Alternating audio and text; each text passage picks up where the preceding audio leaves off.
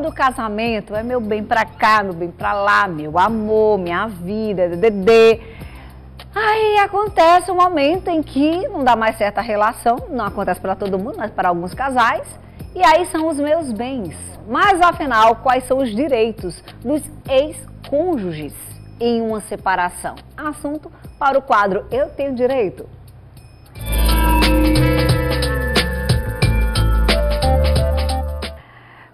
Quando é direito de família, Sheila, só deixa eu trazer logo o reforço. Na hora, minha amiga, que é confusão. Né? É confusão. Advogada especialista em direito de família, Lilian Sena. Oi, Lilian, boa tarde. Boa tarde. Seja bem-vinda. Boa Bom. tarde, Sheila, para você Boa também. tarde. Meninas, é o seguinte, vamos primeiro explicar o que é que significa a separação de fato e a separação de corpos, né? Aquele momento em que a gente define que não quer mais a pessoa.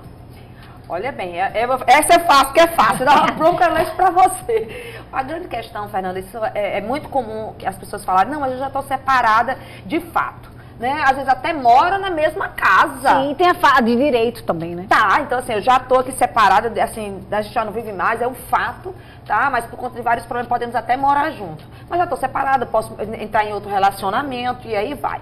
Por separação de direito é quando realmente já foi feito o papel, já tá aquela história já está homologada pelo Estado. Seja ele por meio de uma de um de um no registro civil diretamente no cartório, se não tiver filhos, se não tiver confusão, você pode fazer isso, se não tiver incapaz, tá? Ou diretamente no judiciário. Então, essa é a diferença. E as pessoas, às vezes, Fernanda, passa anos e anos separadas de fato e não de direito. E aí tem tantas complicações. Até porque, né, Lília, se não está separado de direito, significa dizer que aqueles bens acumulados ao longo desse tempo pode ser partilhado, é isso? Não, depende. Ah, tá. Alivia. É, já está pacificado no STJ que após a separação de fato, os bens adquiridos nesse período entre a separação de fato e o divórcio, né, vamos Uhum. supor assim, que seria a separação de direito, eles não se comunicam. Entendi. Ou seja, não integram o patrimônio comum do casal, então não partilham, não entra na partilha. Só vai entrar na partilha os bens adquiridos na constância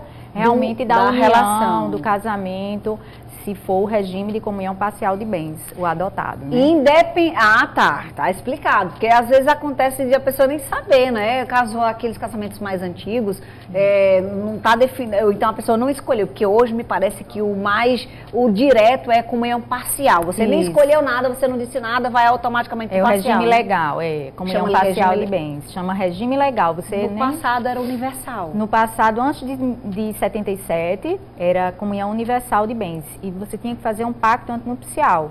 Assim como na separação total, você também tem que fazer o pacto antinupcial. Que hoje é assim também, né? Se Também. você quisesse Só casar. não é comum, ninguém quer se preocupar com isso antes de casar. Isso é muito raro. Eu quis, né?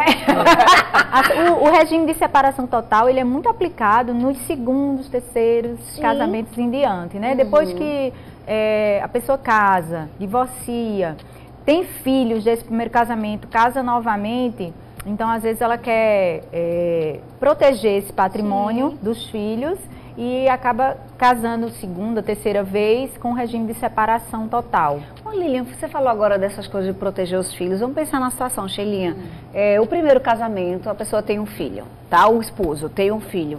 E aí eles separam e durante essa história, é, construiu casas, apartamentos, enfim, tem, um, tem alguns bens. Casa de novo, constrói, co- aí com parcial, com essa segunda, esse segundo casamento. Começa Certo. a construir, começa a construir. E aí tem mais dois apartamentos, três apartamentos. O filho do primeiro relacionamento tem direito a essa a esses bens desse segundo, construído com a ajuda muitas vezes da atual parceira?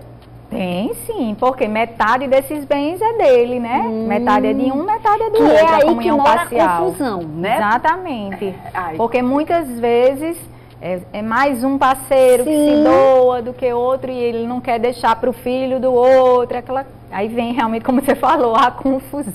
E muito grande, porque às vezes, Fê, durante a, a- a separação, os pais muitas vezes fazem o quê? Não, então vamos botar aquela casa no nome do nosso filho, Sim, menor. sim. É uma forma, né? Tá ali, às vezes acaba fazendo isso também para facilitar. Agora, a gente deixou uma coisa em aberto que é importante a gente mencionar, Fernanda, e a gente faz muito isso no programa. Passa aqui a mão no né? sim. Que a gente fala muito isso no programa da questão de legalizar a situação de fato, Sim. tornar ela de direito. Porque imagina, por exemplo, num caso que a gente comentou aqui, se houver um falecimento, Muito. ocorre um falecimento. Uhum. Acontecendo um falecimento e a pessoa ainda estiver casada, Fernanda, a pessoa que tiver com um novo relacionamento, uma união estável ainda indefinida, sem papel, sem nada, junto ao INSS, quem acaba tendo direito à pensão, até um novo processo para organizar e tudo, é quem era esposa, que muitas vezes Que estava no papel. Que já recebe não- pensão alimentícia. Isso acontece muito, casamentos antigos, quando se desfazem, a primeira esposa fica recebendo pensão alimentícia e essa pessoa, esse homem, vamos dizer assim, casa novamente,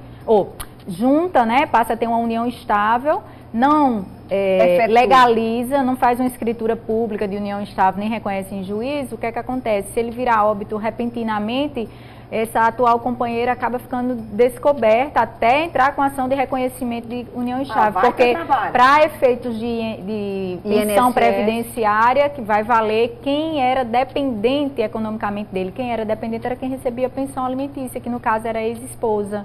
Eu já tive um caso desse, pessoa divorciada há mais de 30 anos e vivia com outra pessoa, vivia mais de 10 anos com essa pessoa. Mas não tinha Mas separado não, legal. não tinha, tinha divorciado, mas não Sim. tinha registrado a nova união.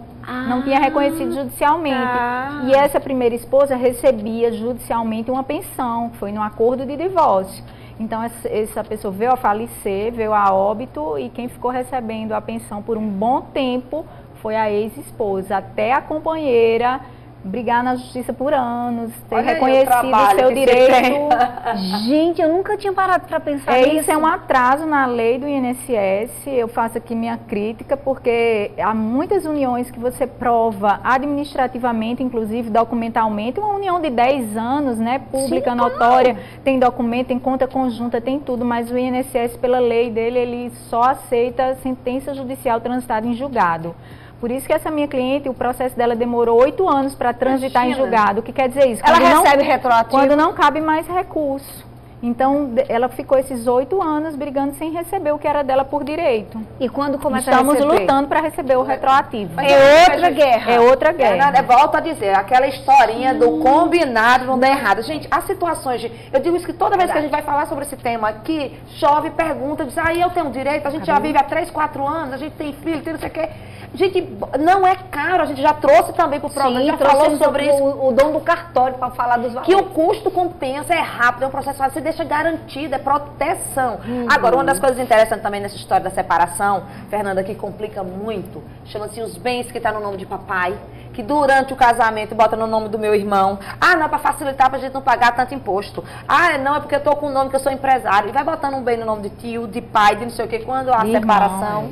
E não aí? tenho que separar, porque não está no nome de nenhum dos dois. Olha, uma Até provar isso é uma outra confusão. Alguém tá outra se beneficiando. É, tem que co- recorrer para investigações, levantamento, é até a teoria da aparência que a gente utiliza muito no direito de família, né, que é para provar que aquele bem é seu na verdade, apesar de estar registrado em nome de outra pessoa, e tentar fazer a partilha desse patrimônio aí que está subjugado em outros Agora, Territórios. e se o imóvel, o bem, for financiado, por exemplo? Sim, Fê, mas ele. Ah, tá. Você disse quando. Já é, tá, tá, no no, nome. tá no nome, é. mas já é financiado. Tá, é O que se divide, num, tanto no inventário como numa separação, num divórcio, tanto é o crédito, o que tiver de crédito e o que tiver de débito. Então, as dívidas também são divididas entre o casal. Mesmo que a pessoa na separação continue morando no bem, se ele for financiado, aí tem, ó, eu vou trazendo situações Mas aqui. é, a Fernanda, pessoa é comum. separada, É. tem um filho. Sim. Aí a guarda tá com a mãe. Sim. Aí o apartamento era dos dois e o financiado. Aí ele teria que pagar metade?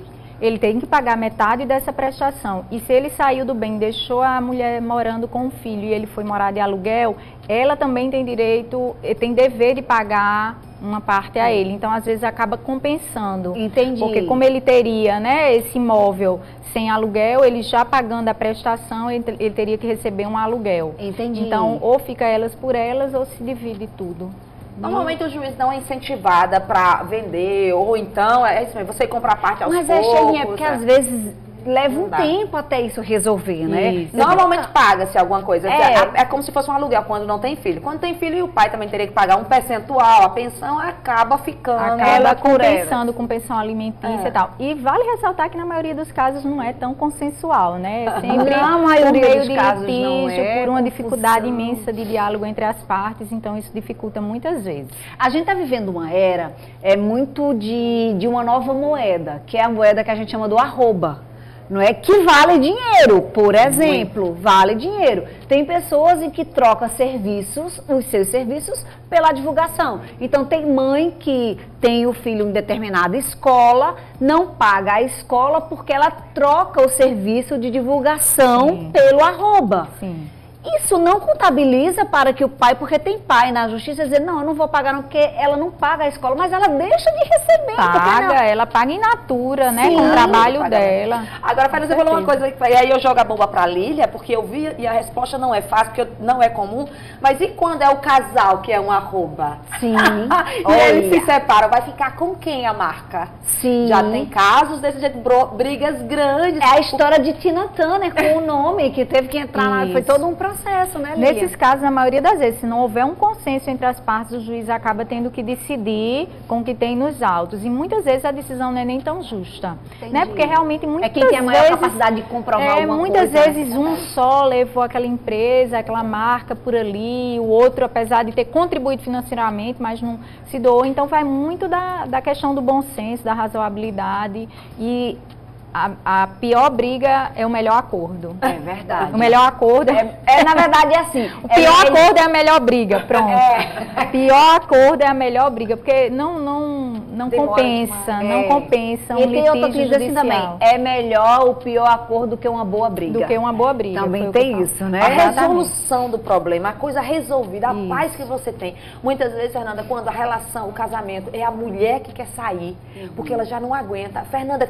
é tão. dif- Lília pode até dizer o contrário, que ela atua muito nessa área. Às vezes a mulher abre mão, É verdade. porque ela quer uma paz. E na paz. Perde a razão, perde financeira, perde a razão não, perde, Perde financeiro pra ter paz. Pra ter paz. Acha, Tudo. deixa o outro ter razão justamente Ah, eu falo muito isso para os meus clientes. Às vezes querem fazer realmente questão por mínimas coisas que você na experiência eu olho assim, eu falo, olha, deixa eu te dizer uma coisa, nada paga o preço da sua paz. Né? Nada paga a paz interior, vai seguir tua vida, recomeça, né? vem um novo tempo por aí, segue sendo feliz. Então, não compensa realmente. É a proposta da mediação hoje, né? Que o novo Sim. Código de Processo Civil já trouxe.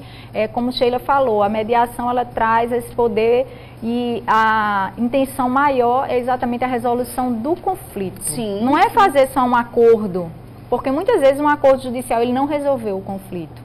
Verdade. Ele resolveu o processo. Mas ele o pôs fim ao conflito- processo, mas o conflito continua. E na mediação não, você tenta é, resolver o conflito. As meninas não vão embora, tá? Elas vão continuar por aqui. Ah, a gente vai falar ainda de guarda compartilhada, de período de pandemia, questão de redução de custos de escola, só que já era um acordo que já estava definido na pensão anteriormente, ou de custo que aumentou com a pandemia. É porque era, tem escola em tempo integral, agora a criança está em casa. Ixi, tem muita coisa pra gente conversar. Elas continuam com a gente, é tempo de tomar um cafezinho Com e uma certeza. água, tá? Agora eu vou chamar